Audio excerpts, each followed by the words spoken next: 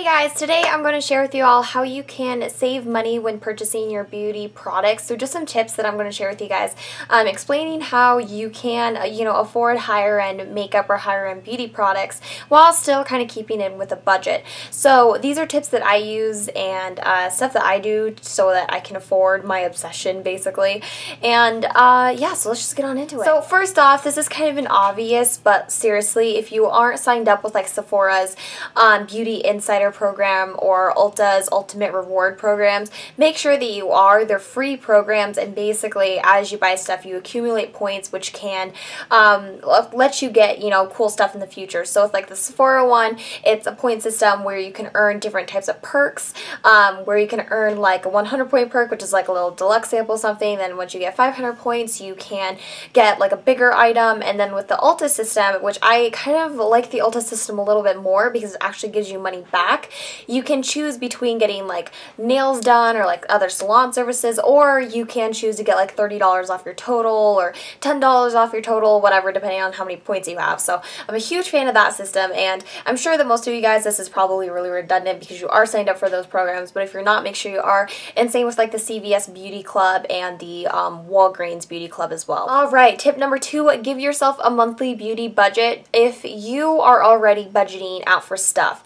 and you want to be able to still, you know, treat yourself each month with a little bit of something. Just give yourself a certain budget of how much you're willing to spend on beauty products for that month. So, and it can be anything. I mean, it can be $20 and then you can put that away and put that $20 away until you, you know, have like $100 or something and then you can go out and give yourself a really nice shopping trip. Um, it can be, you know, 30, 40, 50, just whatever you want, even like 100 or whatever, depending on, you know, how much income you are pulling in. So I think that's a good way to sort of um, limit limit your spending. If you have problems with overspending, giving yourself a budget and sticking to it I think is the best tool for you. Tip number three, and this is my personal favorite, is going with a reliable shopping buddy. For me, that's my boyfriend because he's really good on regulating um, how much I'm spending and sort of being that person that tells me, do I need this or is this just kind of a want? Can I go without this? I love it when I go shopping with him, even though, you know, he's not super into it.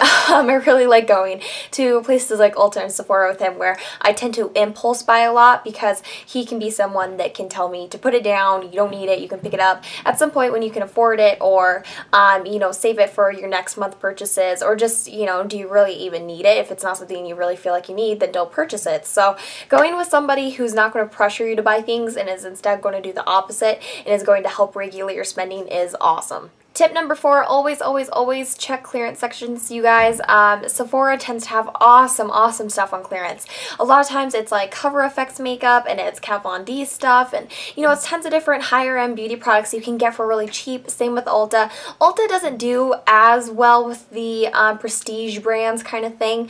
Uh, a lot of their brands don't really tend to go on sale. It tends to be just drugstore stuff. But Sephora is really good on putting their uh, higher end stuff on sale. And if you check the website, they often have like like NARS eyeshadow singles on sale for like $10 for a few days and stuff like that. So constantly checking those websites is awesome.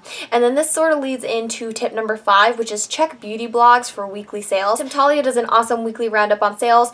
Musings of a Muse is really good on posting um, awesome sales that are going to be happening. Nouveau Cheap does a great job on uh, showing you drugstore sales as well as throwing in when there is an amazing deal on a higher end product. I'll have all those websites listed down below. Those are actually my top top three favorite like beauty blogger websites. I just really like the reviews and everything about those websites. Um, but they just tend to post really good deals and stuff like that too. So if there's like a sale coming up or something, they will post about it and so you can be the first to know about it. Tip number six, follow your favorite brands on Facebook. This seems kind of stupid, I know, but if you have a Facebook, definitely go like uh, companies like MAC Cosmetics, Stila, Smashbox, because they tend to post flash sales on Facebook a lot and they tend to do giveaways to Facebook likers. Um, NARS was giving away cream Compact Foundations a few months ago. MAC is doing Zoom Lash Mascara samples right now.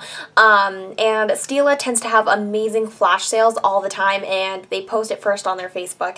And same, you can follow them on Twitter if you have one and then they will tend to give you updates on those sales as well. Alright, I think we're on number seven. I'm not sure. I'm kind of losing track. Um, but the next one is when you are drugstore makeup shopping, always check for coupons. Always scan your little CVS card at the little coupon center and check websites like Retail Me Not I will have that listed down below as well.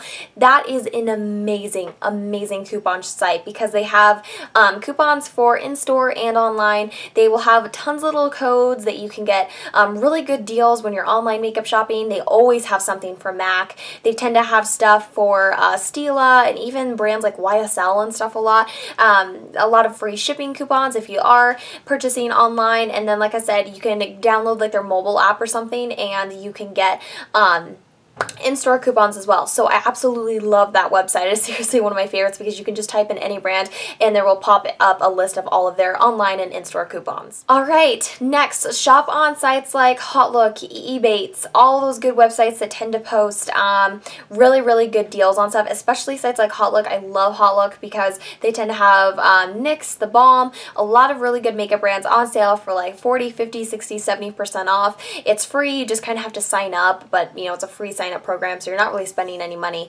Um, and then Ebates is actually a site that gives you cash back. There's a lot of YouTubers on here that are hooked up with Ebates that can give you even better deals. So um, definitely check out other YouTubers for that kind of stuff. I'm not an Ebates affiliate or anything like that, so I don't have special codes or anything for you guys, but I know that Ebates is really nice because you can get 10, 20% cash back on everything that you purchase online. All right, my next tip is um, making a list, like a five or 10 things that you're wanting, stuff that you're wanting to save up for, and and uh, similarly, when you're going to shopping, make a list of the things that you're going to buy and don't stray from that list. This is awesome, like I said, for those people who like to impulse buy or like to um, like to just browse and will end up picking up way more than what you originally went in there for. Um, if you're going in for quite a few items, you know you're going to be scanning inside Sephora or Ulta or whatever, make a list of the stuff that you went in there for and make sure they come out with only the stuff that was on that list. And then I personally like to keep a little list of things that I'm wanting um, and then I just kind of cross them off as I get them. It's a really satisfying feeling to be able to cross off that product and have it. Um, but it sort of gives me like a goal to reach. So it kind of helps me to save my money a little bit too um, so that I'm not just buying everything all at once. And then my dork of a boyfriend wrote on my little pad here that I was going off telling you guys everything, wrote on the bottom there, tell Bryce you love him. seriously did not see that until now. But yeah, those are my tips for you guys. Uh, maybe some of this was helpful. Maybe some of it was just really stupid and you guys were like, oh yeah, we already knew that. Um, and then also just sort of as a side note, always make sure that you're checking uh, sales that come up on like Black Friday and come up on just different holidays. Ulta had a really amazing Black Friday sale this year. Um, Urban Decay had a great one as well. And like I said, those brands just tend to have flash sales a lot. You just got to be on top of it and you can get higher end end beauty products for amazing, amazing prices. I've gotten Makeup Forever eyeshadows before for like $5 and, and like when I purchased my NARS Sheer Glow foundation, I only paid I think like $26 for that because it was on sale. So there's a lot of ways that you can still get really high-end quality beauty products but at a more affordable price. So I want to thank you guys so much for watching. I hope you guys found this helpful and I'll talk to you all later. Bye-bye.